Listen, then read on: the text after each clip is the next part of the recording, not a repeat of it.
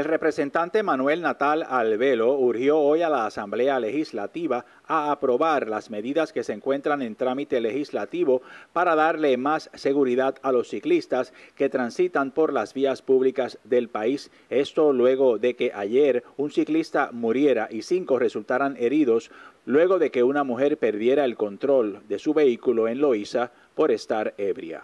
Como parte de las medidas se encuentra una que propone que toda nueva construcción de vías públicas, incluyendo proyectos de mejoras, deberán incluir la construcción de una vía pública para tránsito exclusivo de bicicletas.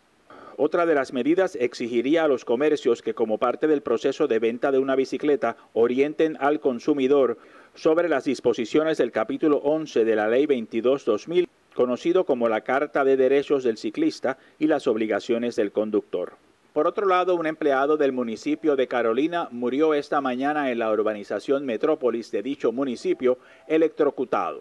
Según el informe de la policía, el sujeto identificado como Luis Santa Lastra recibió una descarga eléctrica al intentar cortar un árbol. Tras la muerte del empleado municipal, el alcalde de Carolina, José Aponte Dalmao, explicó que el hombre se encontraba realizando la ruta que recoge los desperdicios voluminosos casa por casa.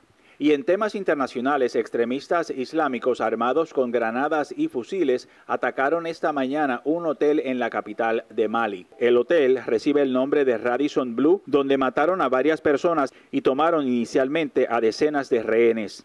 La televisión estatal dijo que tras la intervención de las fuerzas de seguridad, se hallaron más de una veintena de cadáveres en el hotel donde ya no quedaban rehenes.